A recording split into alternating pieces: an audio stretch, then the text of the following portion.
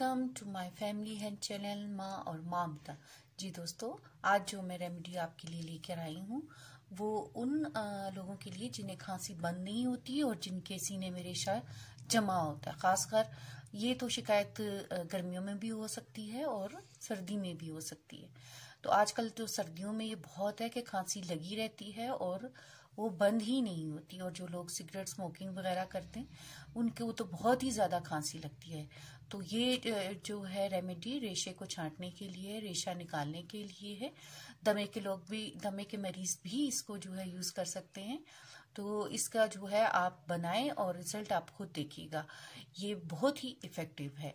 और अगर आपको वीडियो मेरी पसंद आए तो मेरे चैनल को सब्सक्राइब कीजिएगा और वीडियो को शेयर और लाइक कीजिएगा। तो चलते हैं रेमेडी रेमेडी की तरफ़। तो जो चीज़ें इसमें इंग्रेडिएंट्स मुझे चाहिए, वो मैं आपको दिखा देती हूँ। सबसे पहले तो ये मेथी दाना है। ये हमने दो चम्मच लेना है।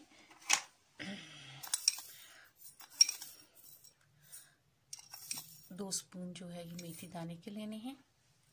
टेबल स्पून और ये हल्दी है। जो खालिश हल्दी है जी ये हल्दी खालिश होनी चाहिए। ये हम एक चम्मच सिर्फ़ एक चम्मच जो है ये हम इतनी डालेंगे। उसके बाद जो थर्ड इंग्रेडिएंट्स है वो आ, आ, ये दालचीनी का है ये पाउडर है दालचीनी का जो आम बाज़ार में मिल जाता है नहीं तो आप घर में भी बना सकती हैं। तो ये एक चम्मच ये डालेगा एक टेबल स्पून फिर उसके बाद नेक्स्ट इंग्रेडिएंट्स ये अदरक का पानी है। ये देखिए, मैंने अदरक का रस निकाला है और ये चार चम्मच है। ये तकरीबन तीन से चार चम्मच है। ये तीन चार चम्मच होने चाहिए। ये है।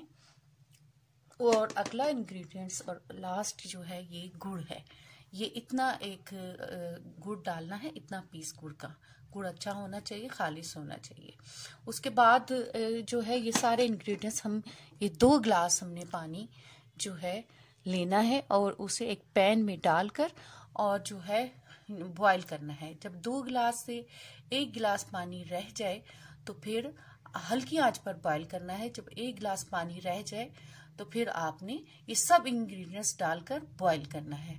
तो फिर आपने जो है उसको छान लेना है। मैं आपको दिखा रही हूँ कि ये किस तरह कहवा बनता है और फिर इसको आपने दो चम्मच सुबह दोपहर शाम आपको रात को सोने से पहले तो ज़रूर लेना है। तो ये आप लें, इससे आपका सारा रेशा बाहर आ जाएगा। सुबह आपको देखेंगे कि आपका गला साफ़ हो जाएगा। गले के लिए भी ये बहुत अच्छी रेमेडी है। तो अभी जब ये कहवा बनता है तो मैं आपको वो दिखाती हूँ कि किस तरह होता है।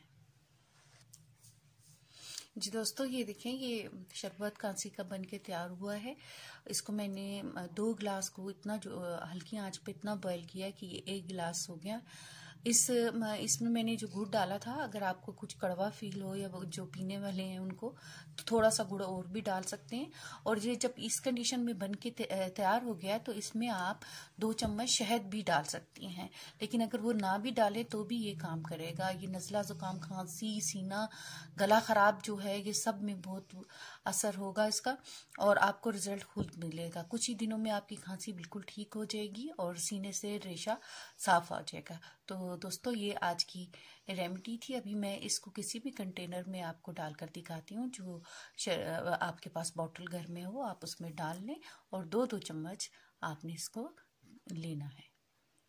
जी दोस्तों, ये देखिए, मैंने इसे बोतल में डाल लिया है। जब भी आप पीने लगे तो उसको अच्छी तरह से हिलाकर और ये पीना है।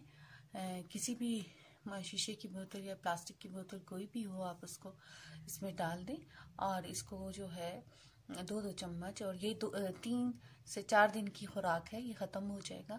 फिर अगर आपको ज़रूरत हो तो आप दोबारा भी बना सकते हैं। तो ये आज मेरी रेमेडी थी जो मैं आपके लिए लेके आई हूँ। नेक्स्ट टाइम तक के लिए अल्लाह हाफिज़।